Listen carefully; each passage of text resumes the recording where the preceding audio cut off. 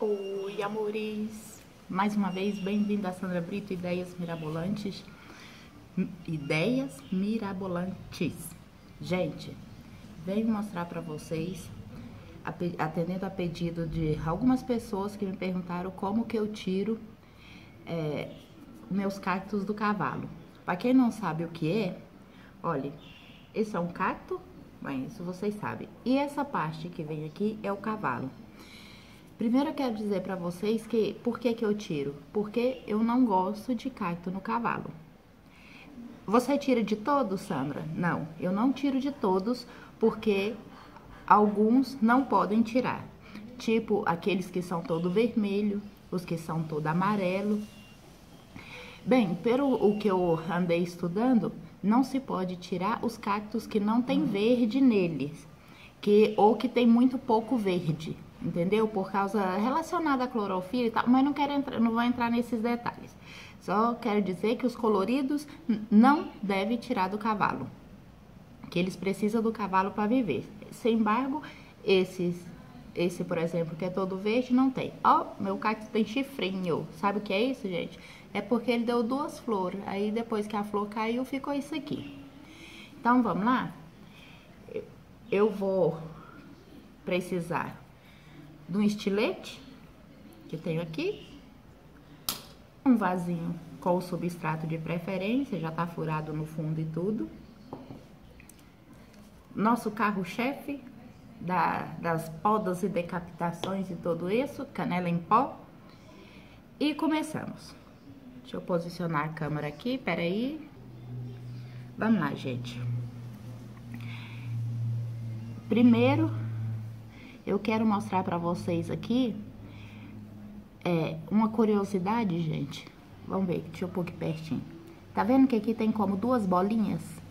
Eu vou mostrar para vocês o que são essas bolinhas. Esse vaso tava, esse cacto estava plantado num vaso que tinha várias outras plantas.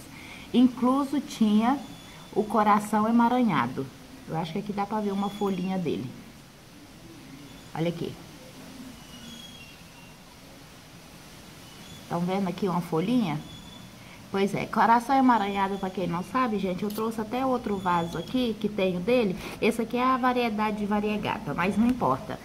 O, o que tinha aqui era como esse, só que não tinha essa parte branca. Tá vendo aí? A folha é toda verdinha, rajadinha, mas é mais escura. O que que aconteceu? Esse cacto, esse cacto não. Uma rama do coração emaranhado encostou no cacto tipo assim, enquanto estava no vaso, encostou. E onde esse, essa plantinha encosta, geralmente, ela, é, quando ela encosta na terra, ela dá uma batatinha no lugar a cada certo, certo espaço. Vou mostrar para vocês a batatinha dela aqui. Aqui, essa aqui tá exposta, olha lá. Por quê? Porque esse vaso estava aí no lugar que ontem choveu, a, a água caiu aqui forte e, e destampou a batatinha. Ela tinha que estar tá enterrada. Então, o que que aconteceu? Ele encostou aqui e, e enraizou, gente, aqui entre o cacto e o cavalo. E ficou aqui a batatinha que eu vou tirar agora, né? Então, vamos lá? É incrível, não é, gente? Eu também achei. E eu, o coração emaranhado viveu aqui muito tempo. Quando eu viajei, ele ainda tava aqui. Olha, vou cortando. Primeiro assim.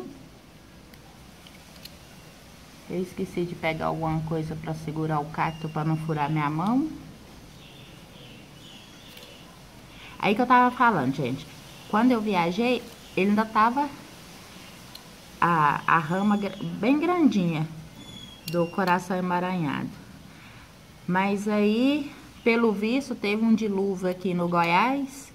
Choveu demais e não sei se foi isso, matou meu coração. Agora eu vou plantar essa batatinha aqui e ver se se ela brota, porque eu tinha vaso cheio dele e só me sobrou isso aqui. Essa batatinha. Cortamos toda a volta, gente. Eu quero falar pra vocês que eu faço dessa maneira, não não quero dizer que sou a dona da verdade, entendeu? Então, assim, eu faço assim, sempre me deu certo e por isso eu vim passar pra vocês. Deixa eu ver o que, que eu tenho aqui. Tem aqui um rolo de papel higiênico, sim, que eu tava embalando plantas agora. E como eu enrolo no papel higiênico, ele ficou aqui em cima. Então, vou colocar ele aqui na minha mão, colocar o cacto em cima. E vou continuar cortando. Tirar o máximo possível do cavalo.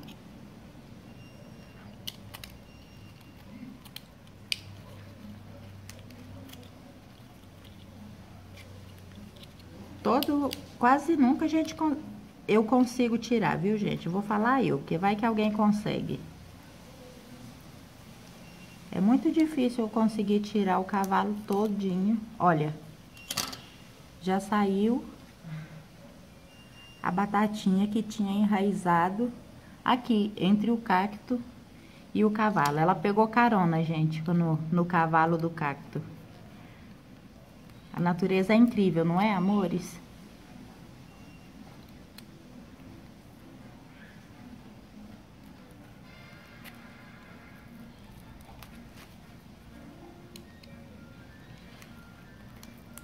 Todos que eu fiz assim até hoje, gente, eu já devo ter tirado uns, sei lá, uns 8, 10 cactos do cavalo. Porque é, cacto eu não tenho muito não, viu?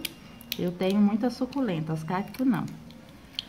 Então, de todos esses que eu tirei, só morreu um até hoje, gente. Só um que morreu. Pronto, feito isso, nosso cicatrizante que ajuda a cicatrizar e evita fungos. Aqui tá meu vasinho de, de areia, de substrato, gente. E como vocês viram, ficou aqui meio fundo, né? O que, que eu vou fazer para que ele fica bem encostadinho no, no substrato? Porque se eu colocar do jeito que tá aqui, o substrato reto, não vai ficar.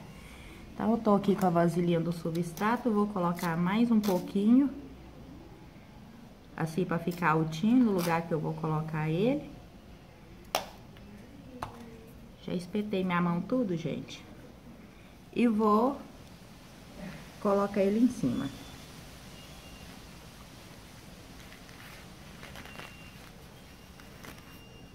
Não vou molhar durante pelo menos uns sei lá, uns 10 dias, eu não vou molhar, vou deixar ele assim.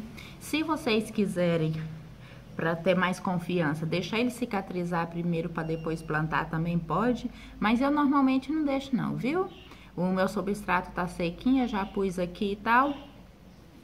E mais para frente vocês vão ver esse cacto em um mini jardim, que eu vou montar aqui para vocês a pedido de outra pessoa.